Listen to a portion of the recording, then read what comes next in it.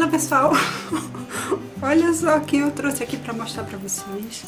Minha fofinha, essa daqui é a Rebeca.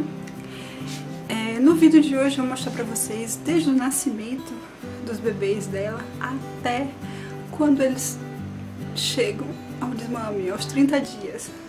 Então essa é uma não russo, dessa vez a gente vai ver um vídeo acompanhando toda a trajetória, desde o nascimento mesmo. Eu consegui pegar algumas cenas bem interessantes do bebê nascendo e depois acompanhando o desmame, nas, abrir os olhos, é, as orelhinhas, nascendo o pelinho.